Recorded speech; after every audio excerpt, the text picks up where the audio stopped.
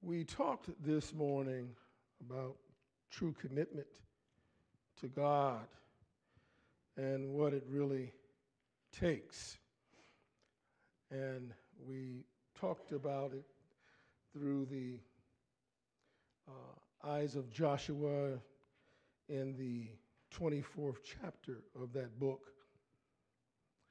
And as he challenged the people of this time to let them know that true and committed worship must only be done to the true and living God. And that would bring some challenges, some difficulties.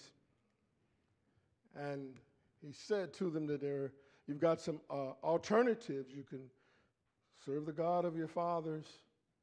You can serve the gods of the Amorites, in which we've just defeated. We know they're not the true gods.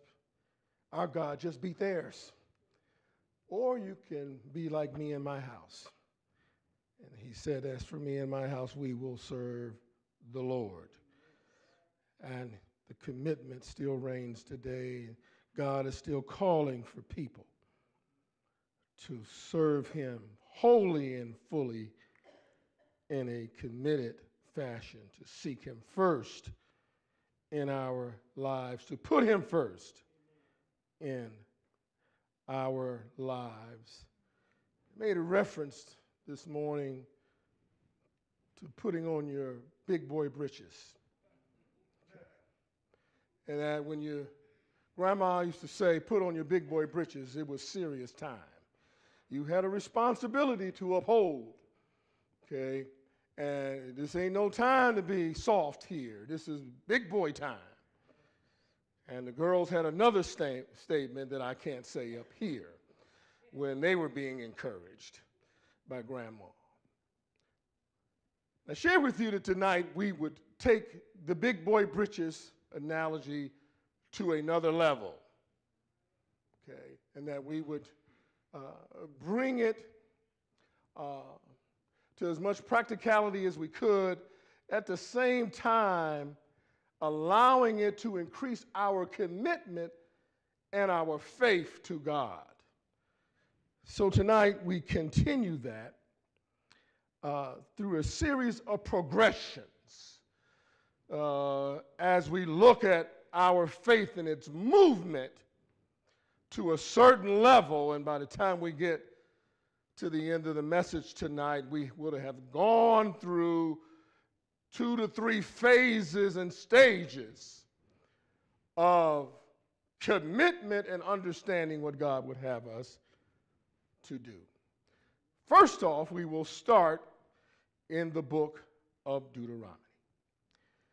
One of probably about eight sermons that Moses preached um, to the children of Israel, um, getting them ready to go into the promised land, get them ready. Get them ready. As you know, that Moses did not enter with them, but he's trying to get them ready for that moment. Is everybody all right? Okay. In chapter 8, we start with the, uh, the caption, Remember the Lord your God, chapter 8. And he goes through a series of events of which God had done for them. And he reminds them of what God has given them and what he has them ready for. Real quickly, verse 7 For the Lord your God is bringing you into a good land, a land of brooks of water and fountains and springs that flow out of the valley and the hills, and the land of wheat and barley, of vines and fig trees, pomegranates, in a land of olive oil and honey, much as what we still use today. Amen a land in which we, you will eat bread without scarcity. You will have plenty to eat, in which you will lack nothing. A land whose stones are iron and out of the, whose hills you can dig copper. People are still digging for copper and gold today. For you have eaten and are full, then you shall bless the Lord your God for the good land which he has given you. Now, beware that you do not forget the Lord your God by not keeping his commandments, his judgments, and his statutes for which I command you today, lest you, when you have eaten and are full, and have built beautiful homes and dwell in them, and when your herds and your flocks multiply, and your silver and your gold are multiplied, and all that you have is multiplied. In verse number 18, and you shall remember the Lord your God, for it is he who gives you power to get wealth, that he may establish his covenant, which he swore to your fathers as it is this day. Moses is talking to a new group of people. Uh, he's dealing with a new generation, some of which had died in the wilderness. And now we have a new group of folk, okay? Faith builders, if you will new converts, if you will. They're new to this experience.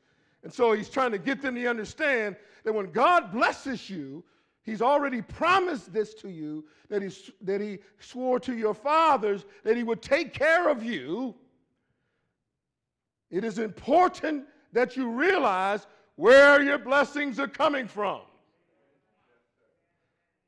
And you may have gone to your job and got a paycheck but it is God who made that possible. Okay? And so, as new converts, you need to understand that you ain't doing this yourself. It's God that's making it possible. So don't forget Him. Thank Him for what He will do and has done for you. He has blessed you and will bless you. And don't forget who he is. Because they were new converts, if you will, they weren't real experienced in handling spiritual things. And so uh, they at this time being young little toddlers in the faith, if you will, okay, would have a hard time understanding Hebrews chapter 11 and verse 1 for faith is the substance of things hoped for and the evidence of things not seen. They needed to have things tangible for them because they were growing their faith. So they're little children in the faith right now. They are being fed accordingly to their knowledge and spirituality. And Moses is letting them know it's important for you to know that what all God gives you, you need to thank Him for it. I want to draw your attention to verse number 10 and focus on two words. When you have eaten and are full, then you shall bless the Lord your God for the. And that's how I'm going to stop right there. For the. For what? I want, to, I want you to thank him for the food that you're about to receive. For the food. I want you to thank him for the home you have. I want you to thank him for the for the for the job you have. See, those are things you have. Those are things you can see. As a new convert, you're not ready for the things that you can't see yet. You have to have those things that you can tangibly touch. So thank Him for the milk, honey, and all that He gives you. You're, you're not ready for the next step yet. You still got to eat your vegetables at the kitty table. This is the kitty table. Because you're thanking him for the spouse you have, for the children, for the family. You're thanking him for the church. You're thanking him for the, for the, the, the community of believers, for the family, for the things that God has given you. You, you, you have them, you see them. They're right on the table for the. And that's the beginning stage for the new converts because they haven't grown yet to Hebrews 11 1. Faith is the substance of things hoped for and evidence of things not seen. They, they, they're not ready for that. So they got to thank Him for the. Then we move to another stage. And David helps us with that one. In Psalm 23 and verse number 4, even though I walk through the valley of the shadow of death, I will fear no evil, for you are with me. Your rod and your staff comfort me. You prepare tables before me in the presence of my enemies. Now we go from the kitty table to the big table. This is where you begin to put on your big boy britches at this table. Because this table is for people with big britches who are willing to wear big britches, who are willing to understand that everybody can't sit at this table because everybody don't wear big britches yet. But if you're going to sit at this table, you got to understand that your enemies might be at this table because he's preparing a table before me in the presence of my enemies. So, everybody can't sit here because everybody can't handle sitting next to their enemy. See, your boss on your job might be your enemy sitting next to you in the meeting. And everybody can't deal with that. You need big boy britches to handle that one. The lady sitting to your left might be after your husband because she know all your business. And you got to sit next to her. Everybody can't sit at this table.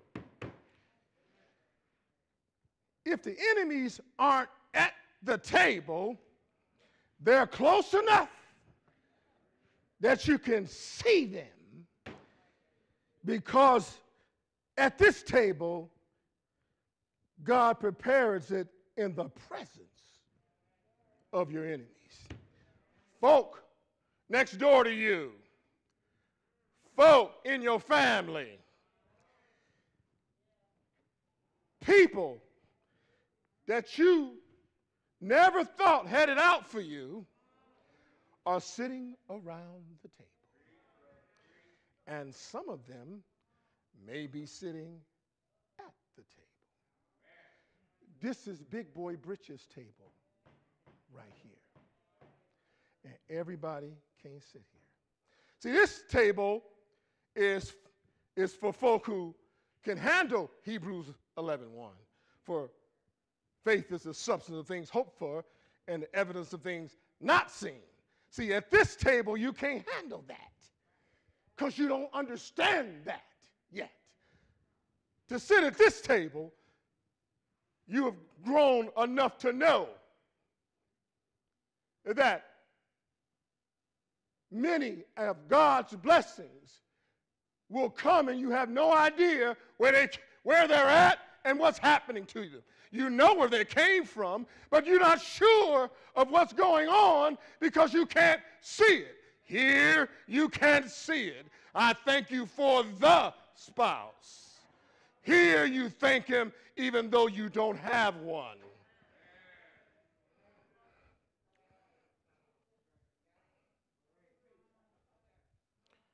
Big boy britches right here. You, you, you, you, you have to understand if you're sitting at this table what you're dealing with. Okay? And so we move from kitty table to the big table.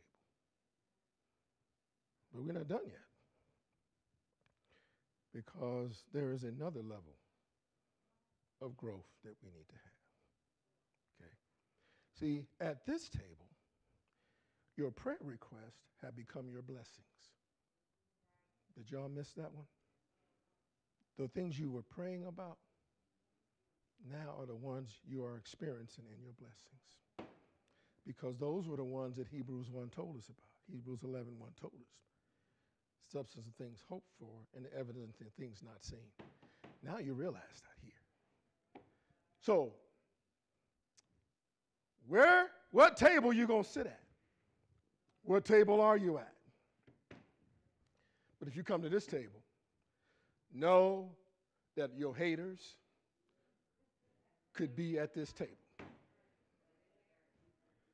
Know that if they ain't at this table, they're close enough to make life hard for you. The ones that are talking in the coffee break room, they ain't at the table, but they talking about you and plotting about what they want to try to do to make life hard for you. Edwina, amen. Okay. All right? But God is able. God is able. And even though I sit at the table, that's an even though table. This is a for the table, and this is an even though even though I got the enemies around me, I'm still good because God is with me. So, so my enemies might be in presence of my table, and some might be at the table, but thou art with me. Thy rod and thy staff comfort me, even though, even though I'm in the presence of my enemies. God is with me. Amen. The next table comes from Paul, and he got to make it hard. In Philippians chapter 1, we find Paul in prison. And if you know a little bit about this chapter, you know that um, there were those that were taking advantage of the situation that he wasn't around to minister to the churches, and particularly here in the case of Philippi. They were making life hard on him, discrediting him, trying to make things difficult for him, and making life miserable for him. And the Philippian congregation was so concerned, they, they visited him on many occasions trying to make sure that he's all right because of how he had been talked about and mistreated. And he, and he says, in typical Paul fashion, I'm good. I'm in prison and I'm okay. Okay? Not everybody could say that. I, I'm okay. He, he, he says that what I have done is use this situation for the good of the gospel. Folk talking about me out there, but I'm in the palace with Caesar and his family and all of the Praetorian Guard, and I could have never preached the gospel to them had I not been here. We can't walk in the White House and said, we want to talk to Kamala and Joe. You don't get that privilege. He's put there in a house arrest and uses it for the glory of God. He takes something that was bad and turns it around for the glory of God. And that's where we need to get to, people. That regardless of what happens to us, there is some good to the glory of God somewhere in it. And make it work to God's glory. Joseph said, Y'all meant it for evil, but God meant it for good. Your boss meant it for evil, and God fixed that thing because you kept trusting that God was going to move in His own time. And it takes a, a, special growth level to be able to handle that, to, to not want to cuss and fuss somebody out, turn over tables, and lose your mind. But to be an example of the believer, there must be something about you, girl, that could handle that because I couldn't. And that's where we got to get to. That's a growth level that everybody can't get to. This one's hard enough. But the one Paul is dealing with is another level of big boy britches. You got to tighten them overalls on this one. Ain't no sagging in the pants on this one. You got to tighten it up. So he says this Indeed, some preach Christ even from envy and strife, and some also from goodwill.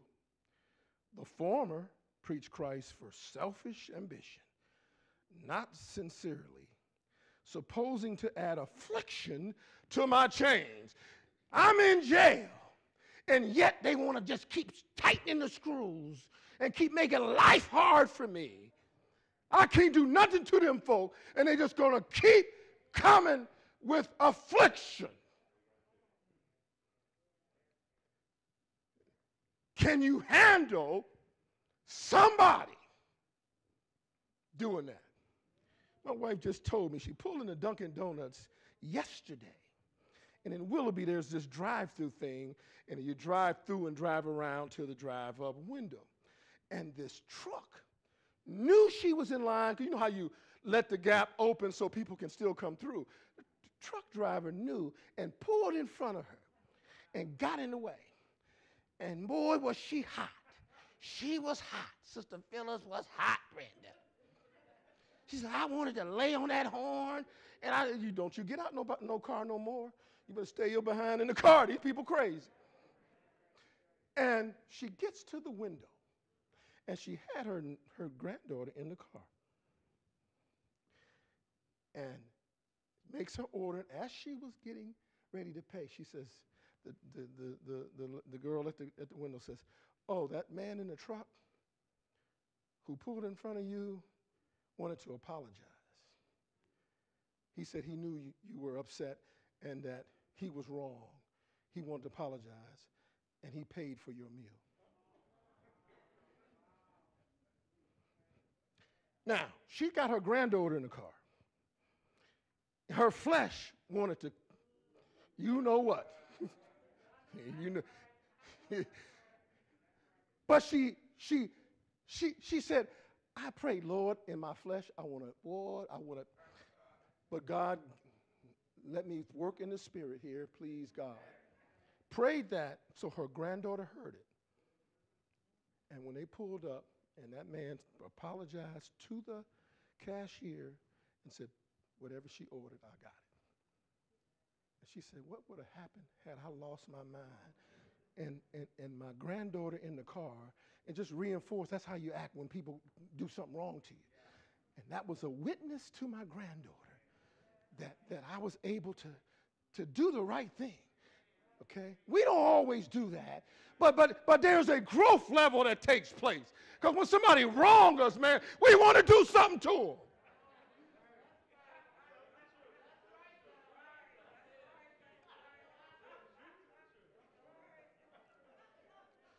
But that's when you that's when you go to spiritual growth level number five. Say, Lord, I want to knock that out, but please, please, I, I won't kick no more. Yeah. All right. Another spiritual level. And Paul says, even though these people are hating on me and creating a problem for me here, opposing to add affliction to my chains.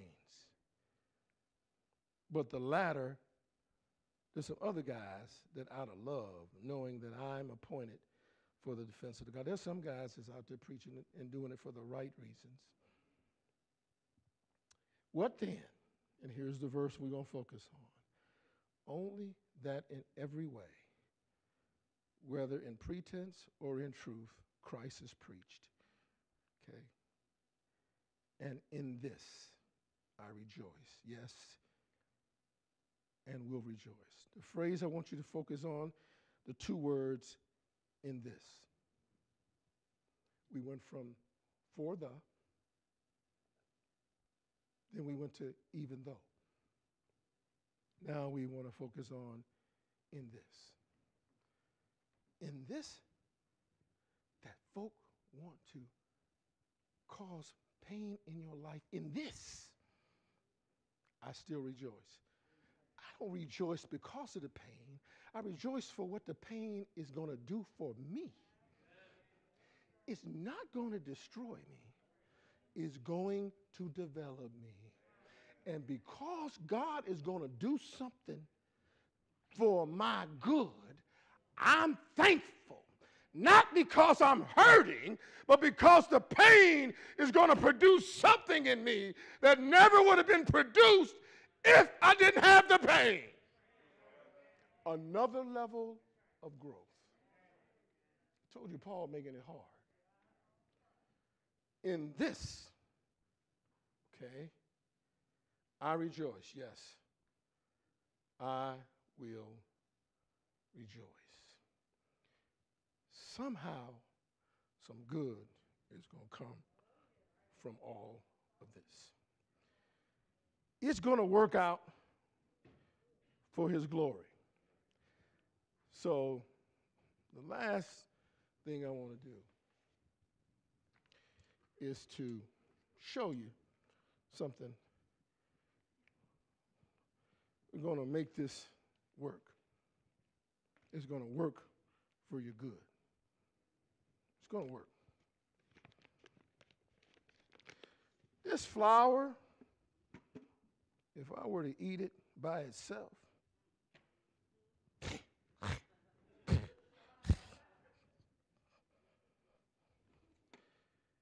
took a piece of this butter and just started eating it,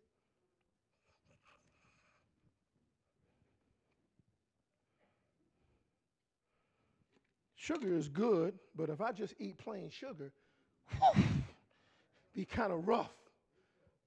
Be, be rough with it. Be real rough. You know baking powder don't taste like nothing. Uh, you're making something, you, need a little salt. You need a little salt.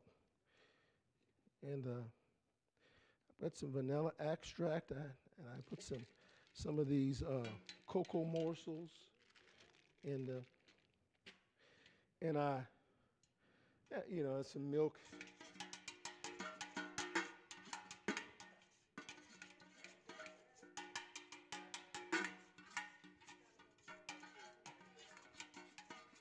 Stir it up. And he's, Paul says later, there are folk that are stirring up some stuff. They're trying to mess with my life stirring up. Stir it up.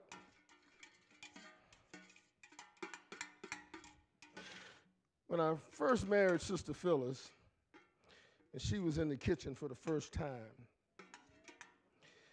and I pride myself in cooking. I can cook. There's one thing she can uh, outdo me in, and y'all know what it is macaroni and cheese. That woman can make some macaroni and cheese. All right, she done made enough for the fellowships here. So I give her that. But the rest of it is, I got that. I got this thing. Okay. One day she was uh, going to do, do, and she loved chicken, the gospel bird. She loved her some chicken. And she fly, and I'm in there, you know, trying to be nosy. What's hey, what you doing? You know. And she you know, floured up the chicken. But I don't see no grease.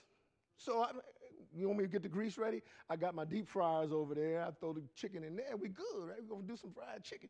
She said, I won't need no grease. I'm like, oh Lord, I done married the wrong woman. That woman don't make some, how she gonna make some fried chicken with no, oh Lord, it's too late. Hey Lord, I done married the woman. You don't even know how to do chicken. I said, you sure you don't want me to get the grease ready? She like, you gonna let me cook or you gonna, you know, I said, so I go in the living room, sit down, John, and I come back a couple minutes later. I ain't hearing no, I'm, you know, I'm thinking some, I don't hear nothing. And lo and behold, she said, Willie, I'm making oven fried chicken. Anybody heard of oven fried chicken before? That's first time I had heard about it. And I said, well, it's probably good because, you know, oil is probably healthy too. Anyway, I, could, I put, I put, I ate some. Man, it's the best chicken I ever had. And over a period of time, I quit being nosy in the kitchen because I began to trust the cook. Mark, I began to trust the cook. Instead of being inquisitive Yukon, I just started looking around and you know, smelling good, girl. You know, do your thing. You know what I'm saying? And over a period of time, so now, yeah, I work in the kitchen. She, you won't taste him, you know, taste his Ted. John, you won't taste him, you know, taste of the Lord, for he's good. Amen. Taste the Lord. And uh, the Bible didn't say that all things would feel good. It said all things worketh for the good. It doesn't mean it won't hurt some. Don't mean it ain't gonna be hard, Clark. You know, it says, for we know that all things, not some things, but all things worketh together for the good of them who love the Lord and are called according to his purpose. All things are going to work out for the good. Okay. And and as you work through all those things in your life and all that stuff is happening to you and it's being worked. Okay? It's being worked. All of these things in of themselves not going to go down well, Brendan. However, if I put them all together and start working. Hello? Amen? Okay. Then you get some of these wonderful homemade cookies. These cookies good. I, I told you I can cook now.